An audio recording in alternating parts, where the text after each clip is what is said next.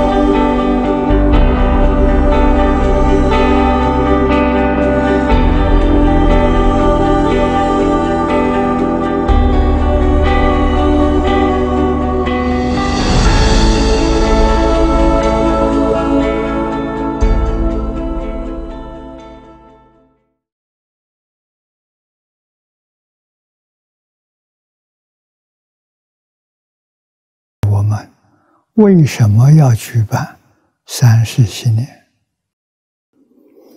这一本《中风三世新年法事全集》，四礼圆融，七礼七机。如果把它当做一般经常佛事来做，有口无心，那就错了。我们应当把它当做课诵啊来做。所以，我们应当首先了解一下中风三世新年法师的内容，真正明白之后，再照着仪轨去做。在仪式里面随文入观，就能受到很好的益处，才真正有意义。中风三十新年法师的含义，中风是元朝本禅师的法号，他是中国禅宗的一代大德。大彻大悟，明心见性。他大扬禅风，上至王公，下至百姓，无不受到他的教化。后来，元朝的皇帝还特别封他为国师。他汇集这一本《系念法师》，以禅宗一代大德来弘扬净土。意义非常之深，在这个法本当中，它处处显示净土与禅宗是同等高深的境界，而在度众生的善巧方便的层面来说，净土甚至比禅宗更加殊胜。三十法师里面有第一世、第二世。第三十，这是三十狭义的意思。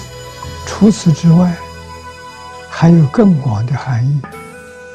古时候的印度把一昼夜分作六时，昼三十，夜三十。由此可知，三十引申的意思就是从朝至暮，昼夜不断。念这个字，在中国文字，这是属于会意字。你看看，上面是心，下面是心，也就是我们现在心里头有的，正在心上的，就是念。所以细念，就是现在当下心系一处。念念不舍的意思，普通凡人与圣人最大的区别，就是在念头。古大德说：“圣狂之分，在乎一念。”圣人的心念，可以随心所欲的心念，专注在任何一件事物上。而凡夫的念头是散乱的、不集中的，所以不容易发挥大的作用。我们做三世心念法师，正是在训练自己对念头的。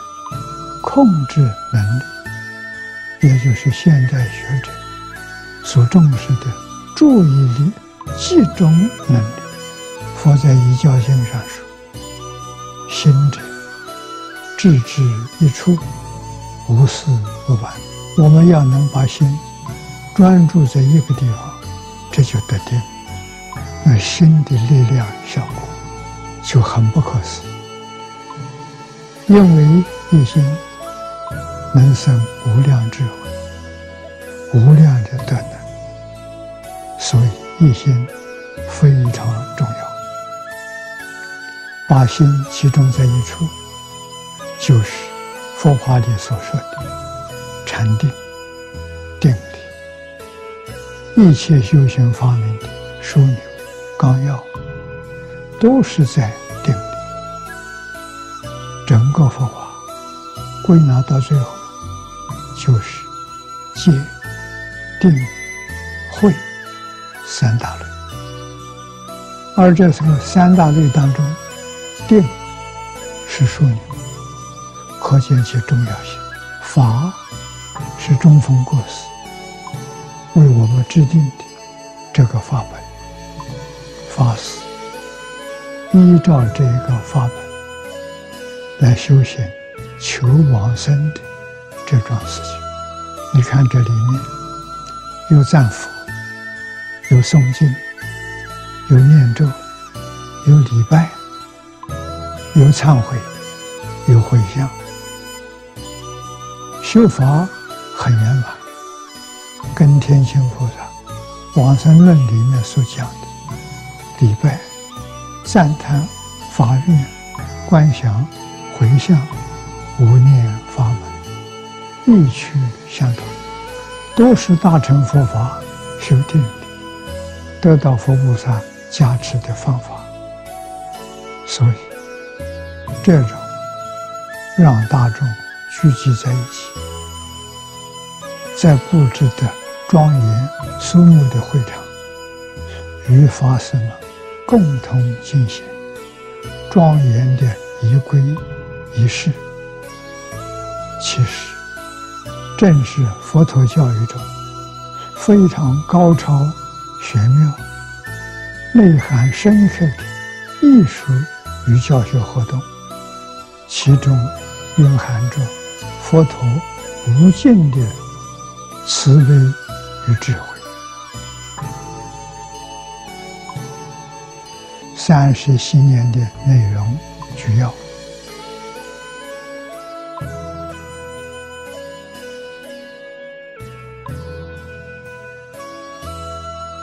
整个三世心念法师，就是在不断的开理，不断的打开普通凡人所执着的局限的思想境界，接触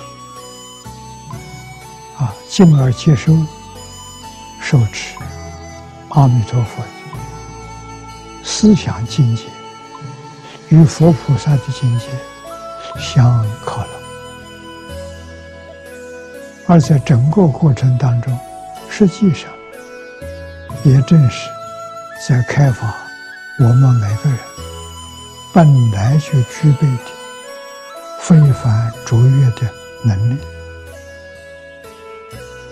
诸法开场，这四句话很重要。血海虚空起，娑婆夜浪流。若人登彼岸，极乐有贵州。这个四句偈内容非常丰富。前面两句是说明宇宙生命的起源，这是弥勒以后的现象。后面两句是教给我们回头是岸的方法。佛经上讲的“一念不休”就是。那个一念的时间太短。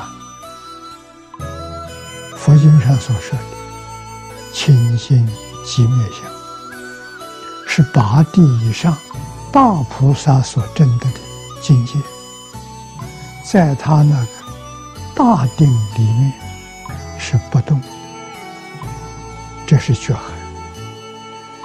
但是凡夫是动的，一动。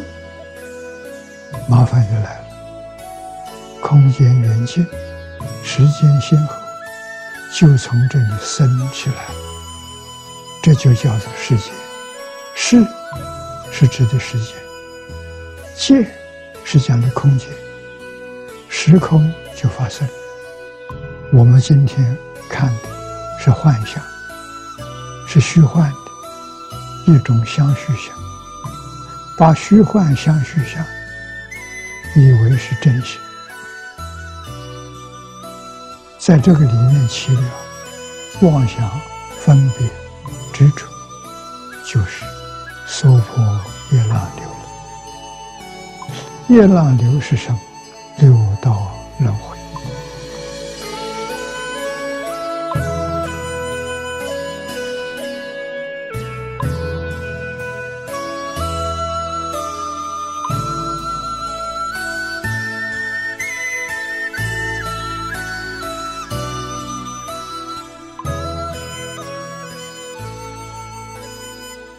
后面这两句：“若人登彼岸，极乐有贵州。”末法时期，只有净土法。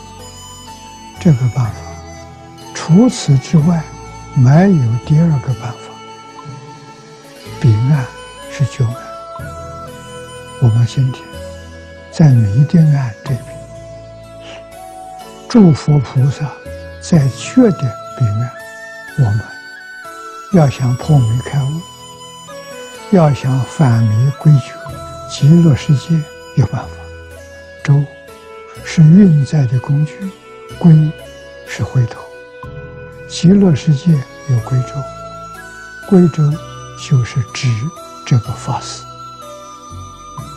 你依照这个法师，等于是你有归舟了，可以依靠。稳稳当当的坐上这个船，就返望归正，返迷归觉，就到了觉海。中峰过世在这个法事题目上给我们说出来：信念，一心信念阿弥陀佛。我从早到晚只有一个念头：阿弥陀佛。除阿弥陀佛之外，其他什么念头都没有，这也不是一个容易事情。成佛哪有那么容易？但这是最容易的了。八万四千法门，要是跟这个法门相比，这个太容易。这个方法就是说，不管是什么念头，你要知道，通通叫妄念。无论什么妄念起来，立刻就归到阿弥陀佛去。这是古人常说：“不怕念起，只怕觉迟。”能够这样修行，你就成功了。所以，这个四句偈虽然只有二十个字，意义深广无尽。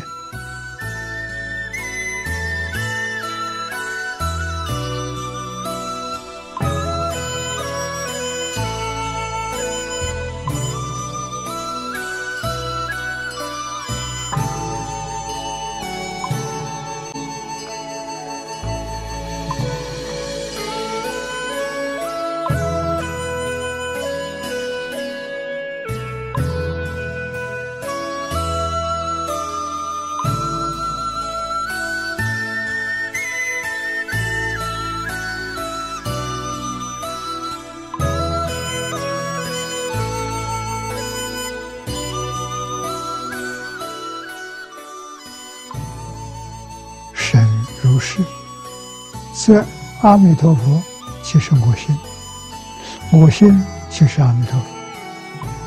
你很认真、很仔细，把这个问题看清楚，你就能肯定阿弥陀佛从哪来的，心心识变。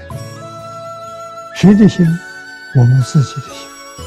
诸位要晓得，真心是共同，妄心。利妄想分别之处，这是真心。大乘经上常讲：“十方三世佛，共同一法身。”所以，它是一，不是二。阿弥陀佛就是我们的真心。我们的真心就是阿弥陀佛，无二无别。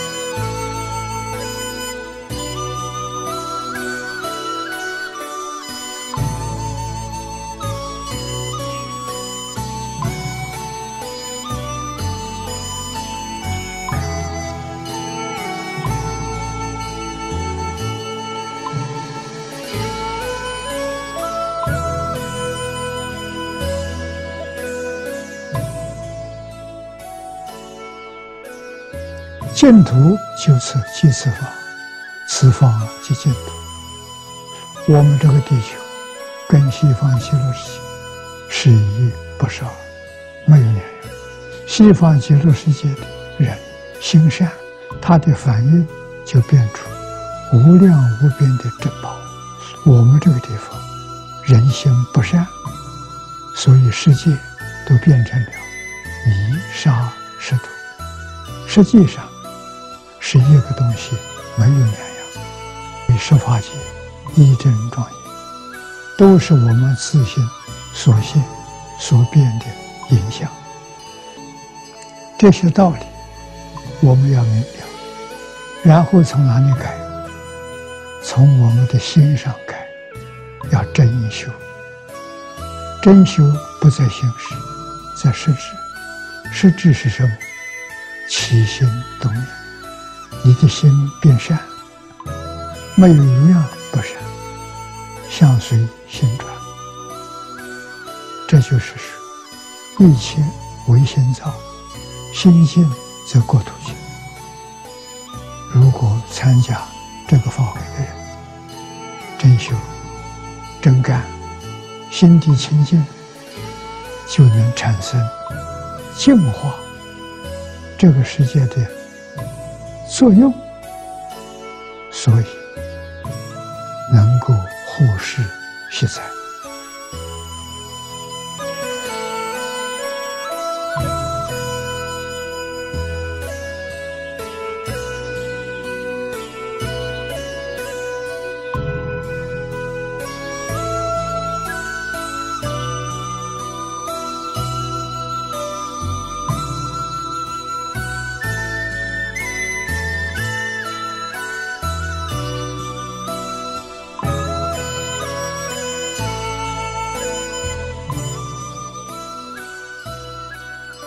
清除投于注水，注水不得不清；念佛投于乱心，乱心不得不服。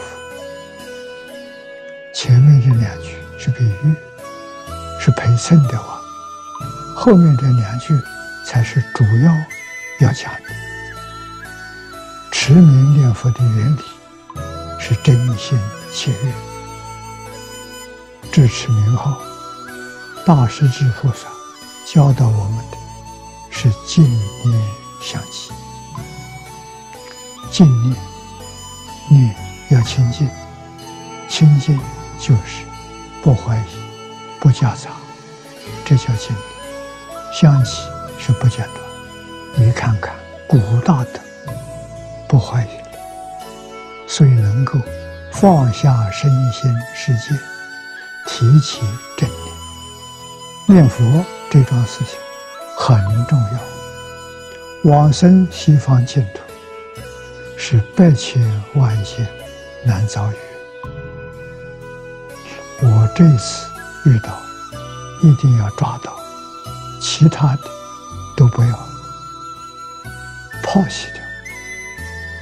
所以，他念佛，决定不夹杂妄想、分别、执着，这个念佛就如法。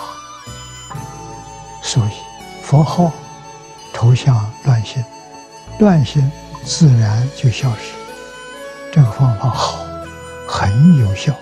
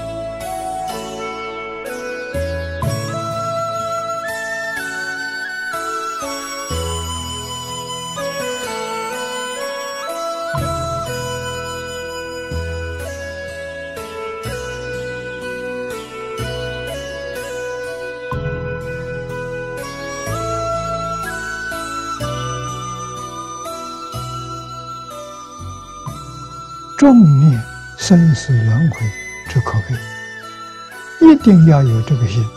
无量劫来告生死轮回，所谓头出头没，在六道轮轮回里面，投出就是做了一点善因，遇到善缘，升到三善道，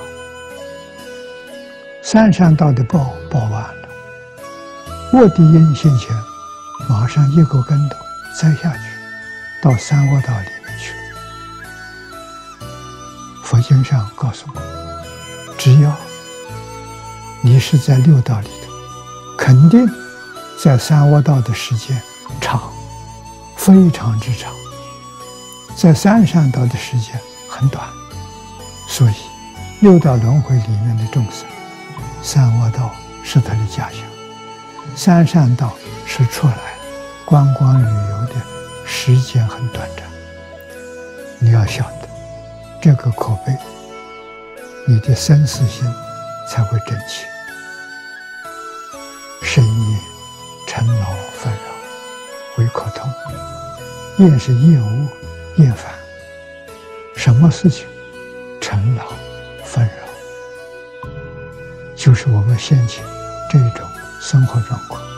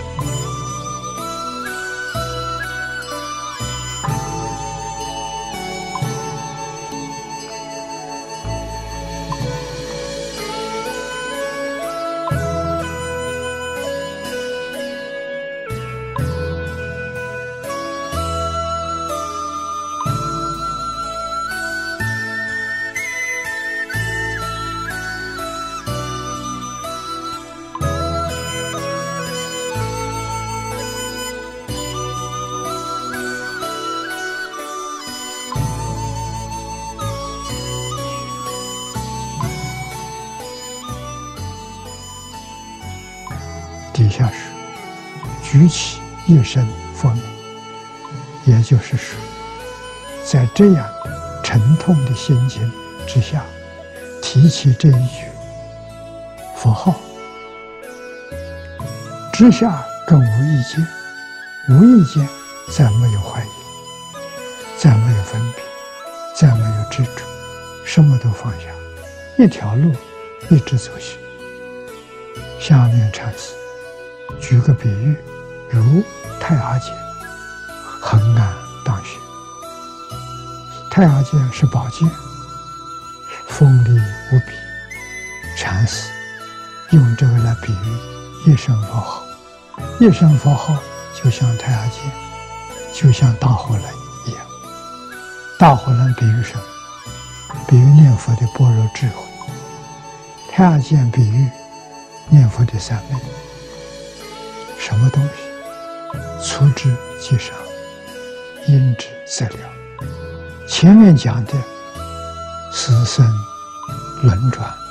尘劳纷扰，只要碰到定慧，他就没有烟消云散。用这个比喻来说。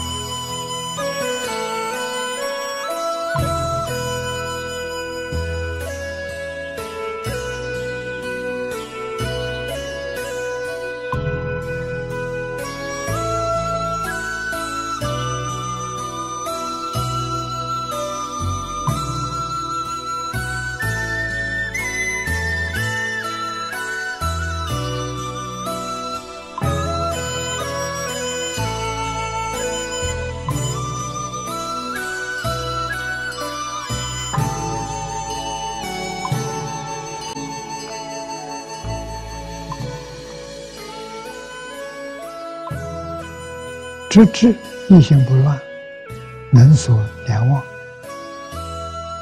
一心不乱是我们念佛的目标。我们念佛为的是什么？为的就是求一心不乱。到离一心不乱的时候，能所两忘，就是入不二法门，化身菩萨的境界。道家之说。为什么？都是废话，道与不道都没有了。入不二境界，接近至此，何劳挂齿？这个法门是经路，经路当中的经路，是修行正果最快速、最接近的一条道路。